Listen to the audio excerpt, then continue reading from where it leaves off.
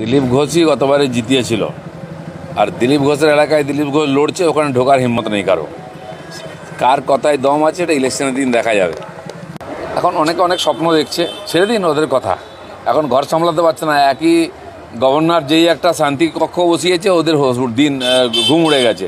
তার জামা কাপড় নিয়ে টানাটানি করছে, এই করছে। নিজেরা ঠিক করুন, পনেরো হাজার প্রার্থী ওদের মাঠে আছে, ওদেরকে আগে বোঝান।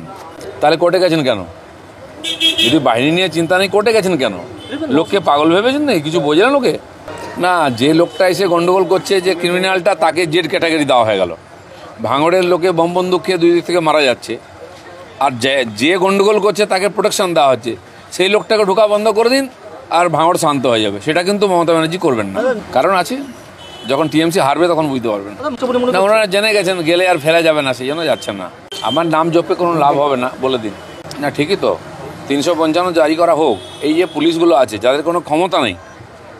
কিন্তু ওরা টিএমসিকে মদত করছে তাদের ক্ষমতাটা কেড়ে নিলে দেখবেন পাবলিক ঠিক সিধে করে দেবে গুন্ডাদেরকে।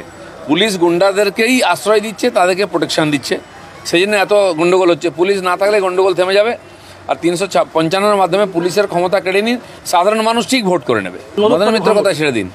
ওইসব কথার লোকের কথা উত্তর দিন আমরা।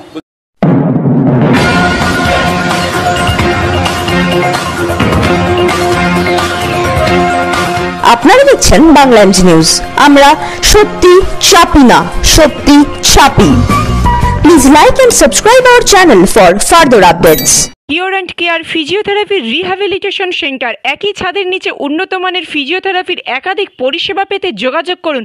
মহিলা ও পুরুষদের পৃথক পরিষেবা দেওয়া হয়। চাঁদেরহাট শপিং মল আরও বৃহৎ ও এসেযুক্ত।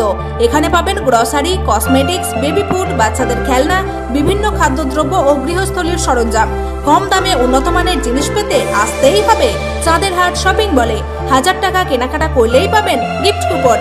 থাকছে আকর্ষণীয় উপহার। প্রোপাইটার রিয়া চৌধুরী ও মোহর আহমেদ। ঠিকানা কামারপুকুর চটি, গোঘাট দু নম্বর বিডিও অফিস, সন্নিকট।